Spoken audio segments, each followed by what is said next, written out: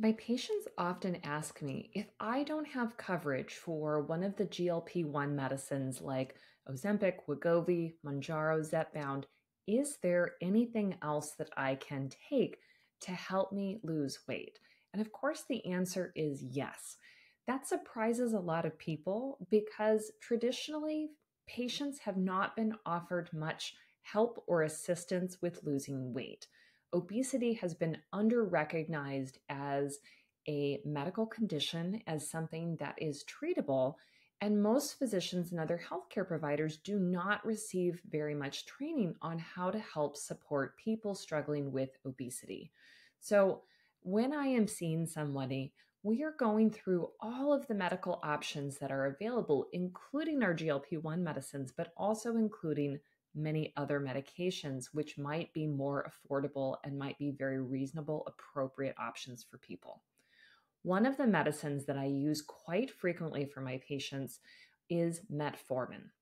Metformin is an older diabetes medication. It is a pill that is taken once or twice daily, depending on how it's dosed, and it can be very helpful for people who have insulin resistance or pre-diabetes.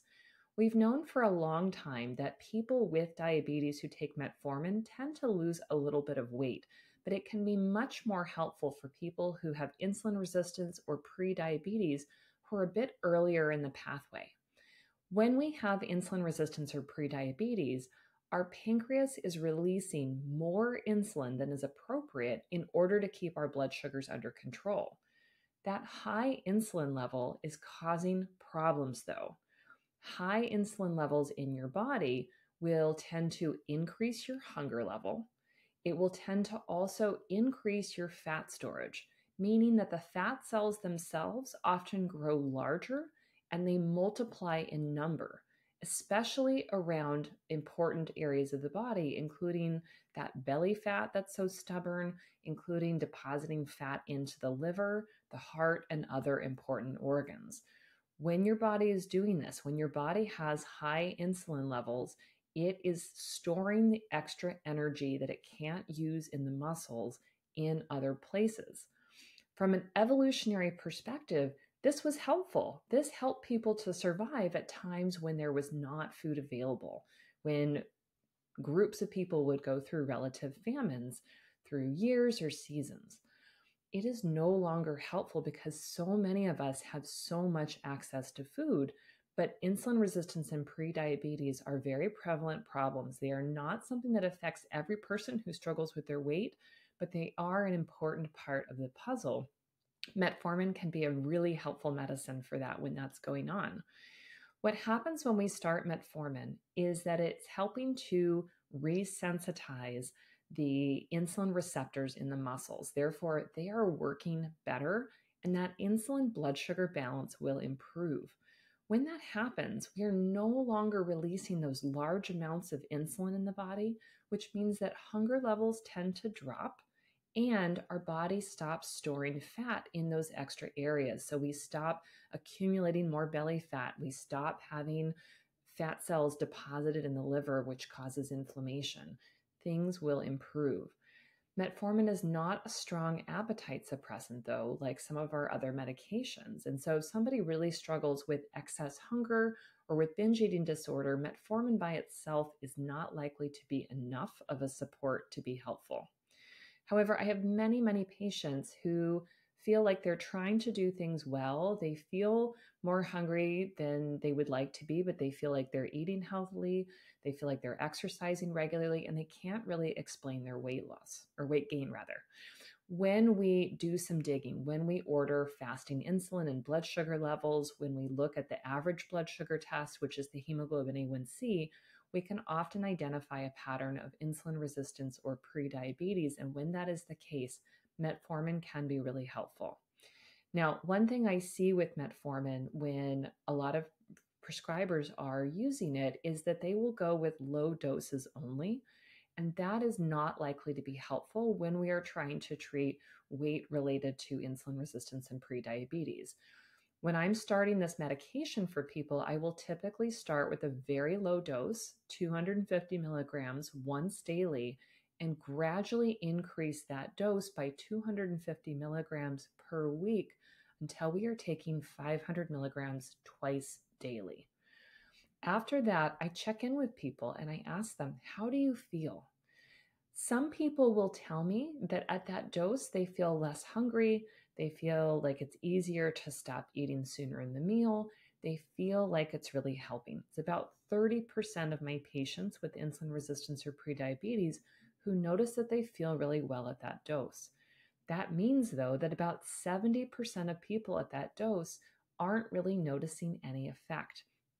For those people, I am generally going to be increasing the dose of their metformin slowly again up to 1000 milligrams twice daily. Now, this is for healthy people who don't have diabetes, who don't have kidney disease, but have some insulin resistance or prediabetes, plus or minus some weight gain. This dose, 1000 milligrams twice daily, is typically very helpful for helping to reduce those excess hunger levels and help the things that you are doing to work better. It is not approved as a weight loss medication, but your insurance typically does not worry about prescribing this cheap medicine. That is, insurance does not require prior authorization. They are not concerned if you have diabetes in terms of covering this medicine because it is cheap, easy, and relatively safe. Now, there are a few people who shouldn't take metformin people who use excess alcohol and are prone to blackouts. That's an unusual circumstance, but those people may not be safe to use metformin because it can rarely cause some acid base balance problems. Similarly, people with advanced kidney disease are usually those who would be very cautious with using this medication with because it can uh, rarely cause an acid base blood problem. That's not typically a problem for most of my patients, but it is something to be aware of.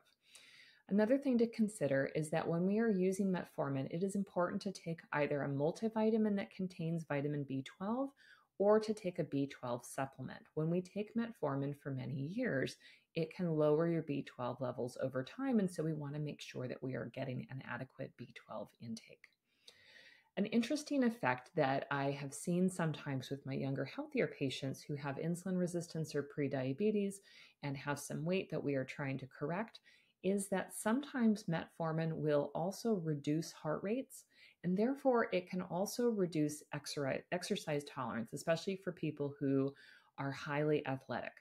Now, this is not a problem that most of my patients encounter. And in older patients, especially those who have diabetes, metformin has been shown to be relatively protective against certain heart rhythm problems, including atrial fibrillation. That is, people who have di- uh, sorry have type two diabetes um, are at lower risk for certain kinds of heart issues when they take metformin because it has some mild heart slowing effects.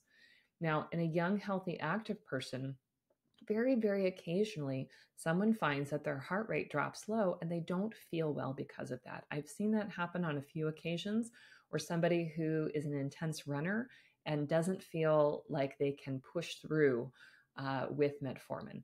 If that's the case, then that might not be a good choice for you, but this is rarely a problem for most of my patients. And many of my patients find this to be a very helpful approach for helping to overcome insulin resistance, for helping nutrition and activity levels to be more successful when they have insulin resistance or prediabetes. Again, let's think of medication options that are easy to get, easy to take. It is important to slowly increase the dose, otherwise, this can cause a lot of gas or bloating for people.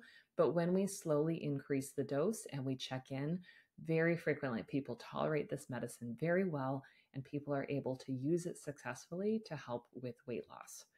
When you look at studies, metformin typically can produce weight loss ranges of 2 to 7% in studies.